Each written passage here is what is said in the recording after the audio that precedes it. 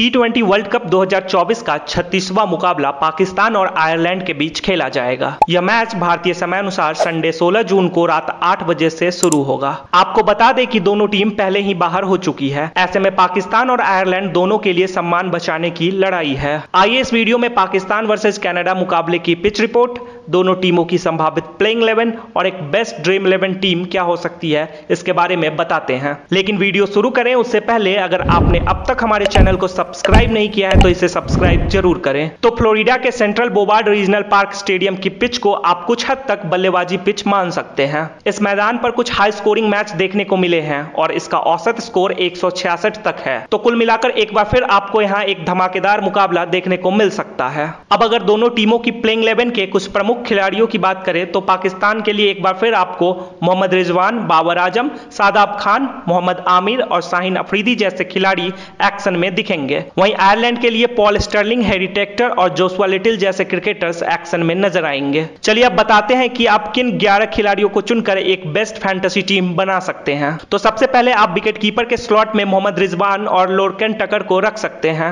आगे बैटर्स के लिए आप बाबर आज़म फकर जमान और एंड्यू बालबर्नी को आजमा सकते हैं। ऑलराउंडर्स के विकल्प में आप मार्क अडायर गैरत डिलानी और शादाब खान को शामिल कर सकते हैं। अंत में गेंदबाज के रूप में आप शाहीन अफरीदी, नसीम शाह और जोसुआ लिटिल को अपनी फैंटेसी टीम में रखकर इसे मज़बूत बना सकते हैं। कैप्टन और वाइस कैप्टन के पहले बेस्ट विकल्प क्रमशः मोहम्मद रिजवान और नसीम शाह हैं। दूसरे विकल्प के तौर पर आप बाबर को कैप्टन और मार्क अडायर को वाइस कैप्टन बना सकते हैं। तो ये थी पाकिस्तान वर्सेज आयरलैंड मुकाबले के लिए एक best dream eleven fantasy team ऐसे और अन्य वीडियोज़ के लिए आप हमारे चैनल को सब्सक्राइब ज़रूर करें।